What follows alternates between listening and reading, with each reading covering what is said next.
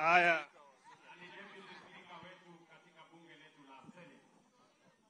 haya, watu wa Sirisia, Bwana Yesu asifiwe.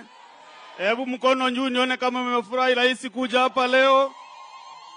Mimi rais, unajua nimekuwa nikifikiria ni Meru tu tunakupenda, kumbe ninyi muko mbele yetu sikuwa wa Meru, si ninyi naona muko mbele yetu.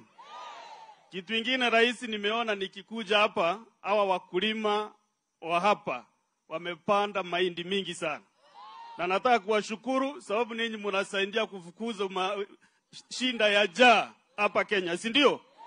Rais wakati aliingia kwa kiti, unaelewa hiyo? Wakati aliingia kwa kiti alisema fertilizer ishuke bei, si ni kweli? Si ndio umetumia kupanda mahindi? Sasa rais, tunakuomba ukiweza kufinyafinya fertilizer ishuke chini zaidi, hawa wakulima watazalisha chakula mingi zaidi na Kenya haitakuwa na njaa kabisa. Sasa mimi nataka kuambia rais aendelee kuunganisha Kenya vile anafanya. Wakenya wote ni watu wa Mungu, si ndio? Kutoka kona hii tuko Mount Elgon mpaka wa Uganda, twende pande ya Kisumu huko kwa, kwa lake huko Meru huko Mombasa. Nashukuru yeye sababu kila kona ya Kenya anaiangalia na njicho moja, hakuna mahali ana anachukia na anapenda wengine. Kama tumekuja hapa Oh, yes, sasa nimekuja hapa kwa biashara ya miraa, si ndio? Miraa na mgoka, si ndio?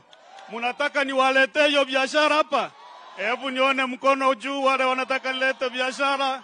Rais, Rais, nimeshukuru, nimeshukuru, nimeshukuru sababu leo mama, nitawaeleza vile itatumiwa, ile haina shinda. Sisi tukiwa Meru, hii mahindi mnalima hapa na kuna kitu kingine tunataka mtupatie.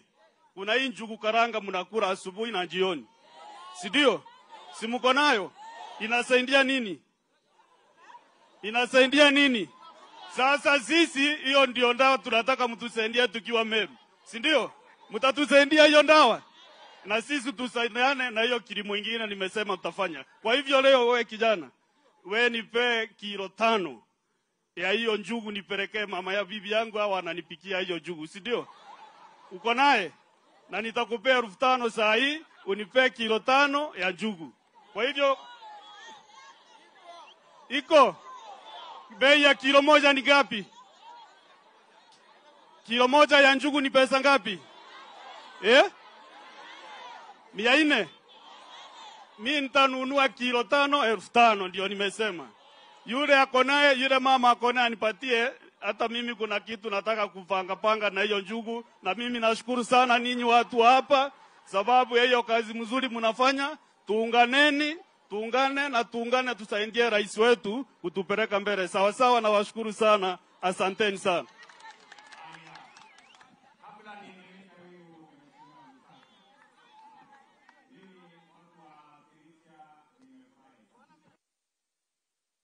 Viongozi hawa wamesema mambo yenu ya barabara tayari nimeamurisha hii barabara tutaitengeneza tena upya.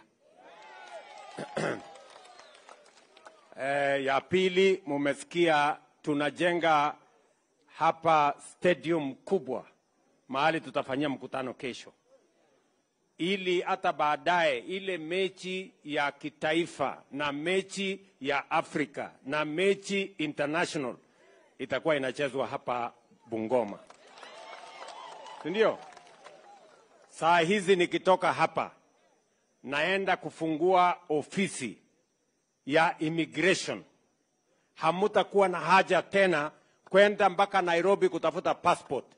Passport itakuwa inapatikana hapa Bungoma, si ndio? Kwa sababu kwa ile mpango niko nayo mimi, nataka vijana wa hapa Bungoma, vile mumesikia tumekubaliana na nchi kumi na tisa. Tumetengeneza kitu inaitwa bilateral labor agreement. Ili vijana wa kutoka Sirisia, Bungoma waweze kwenda Marekani, waweze kwenda Ulaya, waweze kwenda kule eh, UAE wafanye kazi, watuletee pesa, tujenge Sirisia, tujenge Bungoma na tujenge Kenya, si ndio? So mimi naenda kufungua immigration office hapa, na vile mmesikia pia eh, viongozi hawa wakisema, pia tumejenga airport ya hapa Bungoma ambayo itatumika na watu ya Kakamega, watu ya kutoka huko Wasingishu chini pande hii, watu ya hapa mpaka hata watu ya Uganda ng'ambo hiyo watatumia hiyo airport, kwa sababu tunataka kurahisisha usafiri ili nyinyi sasa hakuna haja ya kwenda mpaka Eldoret kutafuta ndege ama kwenda Kisumu. Ndege mtapata hapa Bungoma, si ndio? Mmekubali eh, tutengeneze tukamilishe hiyo airport.